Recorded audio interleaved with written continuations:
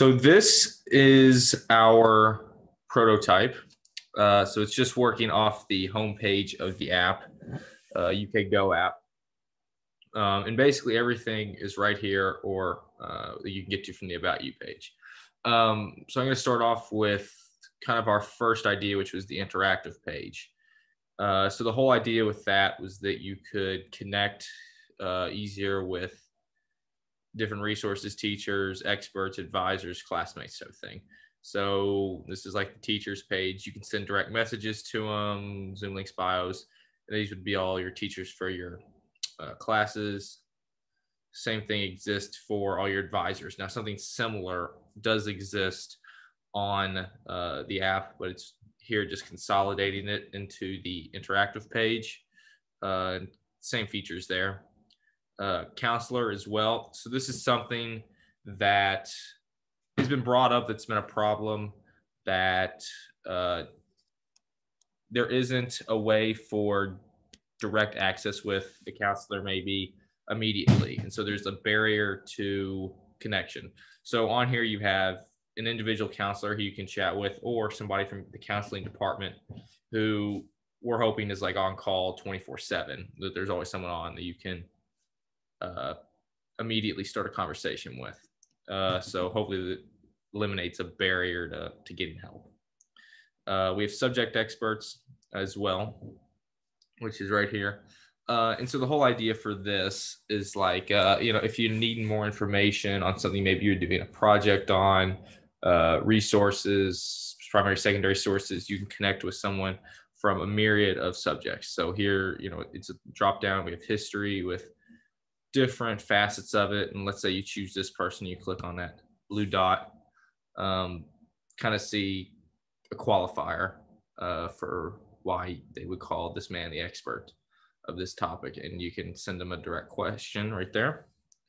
Uh, classmates, this was something that we really liked because on here you can chat with an entire class, uh, individual students, uh, or uh, groups that you're in in that class. Um, and then also you do get a little, you can add information about yourself um, to have kind of a little personal bio that people can can look at. And I'll show you in a minute how you can, can do that on the app. And then there's coaches. So this was something that was brought up that maybe uh, there isn't um, anything like this right now. Financial management, you know, I mean, something that uh, not many 18, 19 year olds know, but uh, be nice to have somebody that can coach you and advise you through that. Time management, the same thing, physical health, uh, or it could be additional topics, but that's kind of what we came up with.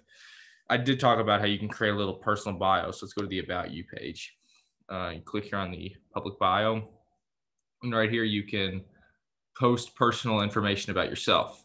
So let's say, you know, I already got my major, my hometown in here, boxes checked. Let's say I want to add a link to my Twitter handle on here. Put that in there, check it off. And then it would pop up on my uh, bio. Someone looked on the app.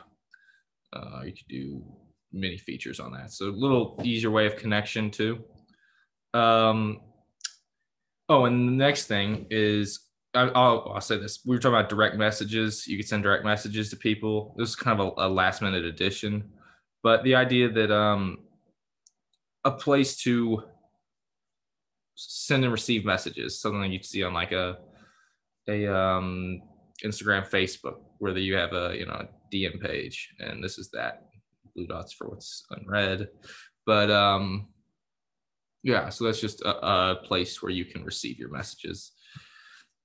Uh, so then there's something similar on the app for interest survey. Uh, when you get the app, you have to fill out a few things. You know, what might you be interested in? But it's pretty, uh, pretty basic, I should say. And so here, there's lots of topics, and we were hoping you go through check a lot more topics, get a little more specific, so that like let's say I check Tai Chi if you have an exercise class, you go to that and fill out this page right here and you can sign up. It tells you how many spots remain, or you can go here and find out a little more information, description, and also who signed up, little information about them. Um, but we were advised that you know not all students uh, like going to events that were put on by a university. So what if students had the ability to create their own event? Okay, so put that together. Uh, and so you come in here, put down the name of the event, date and time description. It would have to be checked by the university. I mean, they're not just going to allow any and everything to go on. Um, but I do like this idea a lot.